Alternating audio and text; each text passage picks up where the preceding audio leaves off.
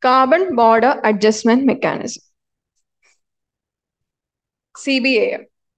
Commerce and Industry Minister said government will take all necessary steps to protect Indian industry from any adverse impact of the Carbon Border Adjustment Mechanism.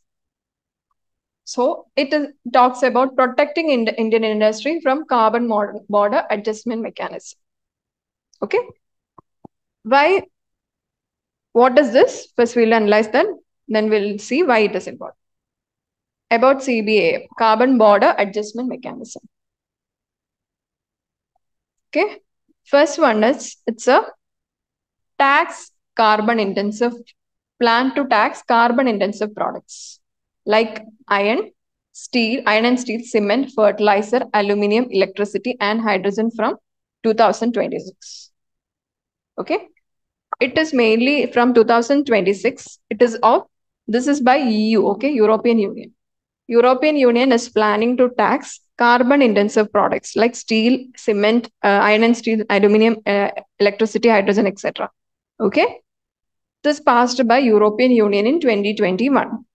This is also known as carbon border tax or carbon leakage instrument. The other names of carbon border adjustment mechanism is carbon uh, border tax or carbon lead, uh, leakage instrument.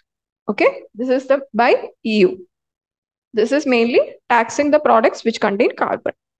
Okay, aim is to eliminate the di difference in carbon, eliminate the difference in carbon price faced by companies subjected to EU's emission trading system. Okay. Or its domestic companies based on carbon market. That is, EU has a commitment. Okay. Fit for 55 in 2030 package. This means that by 2030, it will reduce its carbon emissions by 55%. Okay, GHG carbon mainly greenhouse gas emissions reduction by 55% in 2023. That is the major commitment of EU. Okay. So uh, as a part of it, it also introduced the CBAM. Okay. This means that the uh, the carbon containing from different countries or carbon containing products from different countries will be taxed. Okay. But if the carbon emissions are uh, tax of the carbon emissions are paid by the companies in their respective countries, they will be getting some deductions also. That is one of the criteria. Okay. But the problem is, but the problem is, it is only when applicable in case of supplier non-EU group. Meaning, see, this is one company which is in the EU. Okay. This is one company, example, India if India is sending something, India is exporting something, or a, this this one this buyer is also in EU. If a buyer in EU imports our thing from India, he will need a CBAM certificate. Okay, but this is not needed in case if he is from a EU country. That is the difference. Okay, if from outside he need a certificate, if from EU, he don't need a certificate. That is the major difference or the problem with it. EU importers can buy carbon certificate corresponding to the carbon price on the lines of EU's carbon pricing rule. The price will be decided by the EU. Okay. The certificate amount of tax also, etc. will be decided by the EU. Clear? Deductions can be claimed for their EB, uh, CBAM liability if non-EU producer has already paid for the emission in the country of production. Deductions will be claimed, non-exception. Only deductions will be given to them. Clear? Now, significance. See, the EU, EU is a group of nearly 20 countries. Okay. So in every, uh, whenever we are import, exporting something, we need to pay this carbon tax. Okay, this indirectly signifies that if we need to get or we need to transform to something sustainable, not containing carbon. Otherwise, we need to pay the higher taxes, right? So this indirectly means that we are getting shifted to sustainable thing. So this means a significant, uh, significant, this also pays a significant part of it. Okay. It encouraged non-EU countries to adopt more stringent environmental regulations, which will reduce global carbon emissions. Clear? Environmental regulations will be more stringent.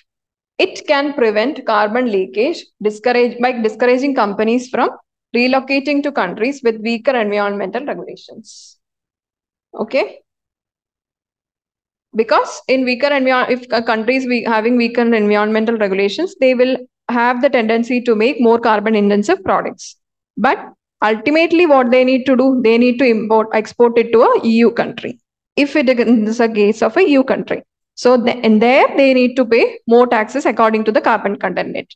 Okay. So it will discourage the companies to produce carbon intensive product. Okay.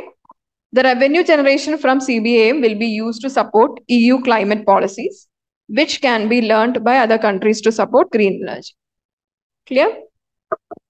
Now, we will study what is the significance or impact of it in, in case of India. How can it impact India? First one, in India's export. It will India uh, affect India's export. See, majorly, this uh, tax is mainly for things containing carbon, like iron and steel, cement, etc. India is an exporter of cement. Okay, iron and steel. It has an adverse impact on India's export of metals, uh, materials like iron and steel, aluminium products to EU because these will face extra scrutiny under the mechanism. Okay, our product export will be affected. Like iron and steel, aluminium, etc.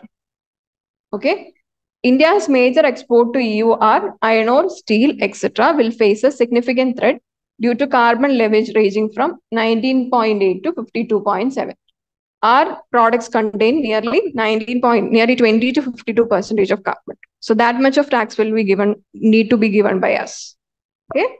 From 1st January, EU will starting the collecting the carbon tax on each consignment of, on each consignment they will be ta taxing. Okay steel, aluminium, cement, fertilizer, etc. This will affect us. Our economy will again get down because we are giving additional amount in the form of taxes. Okay. We are uh, getting exports or money from exports, but from that, some amount or major amount from, of it will be gone in the form of carbon tax. Okay. Next one, carbon intensity and high tariff. Carbon intensity of Indian products are significantly high. That is by nearly 20 to 52 percentage are, uh, are the carbon content present in Indian products. Okay. Also, because coal dominates overall energy consumption, our uh, our carbon intensity is higher than the EU and many other countries. Our energy is mainly energy production is mainly based on coal and natural resources, other natural resources. Okay, so ultimately or indirectly, our carbon content is high. Okay. The proportion of coal-fired power in India is close to 75 percentage, which is much higher. EU only 50 percentage and global average is only 36 percentage. R is twice than global average. Okay, that is a problem. Therefore, direct and indirect emissions from iron and steel and aluminium are major concern for India as higher emissions would translate to higher carbon prices. Next one, risk to export competitiveness. See, majorly our export uh, export products are iron and steel, etc., aluminium, etc. So our export competitors will also increase. Okay, it will initially affect a few sectors, but may expand to other sectors if uh, iron and steel aluminum cement etc get affected it will every sector of this economy or every part of the economy is very interconnected right so if one sector affects then ultimately it will lead to eventually it will lead to the other sectors as well okay so will refine petroleum products organic chemicals pharma medicines textiles etc like top 20 goods imported from india by the eu will be affected okay since India has no domestic carbon pricing scheme in place, this poses a greater risk to export competitiveness. So, as other countries with the carbon pricing system in place might have to pay less carbon tax or get exemptions. Clear? So, this will indirectly lead to export competitiveness, rise in export competitiveness. Clear?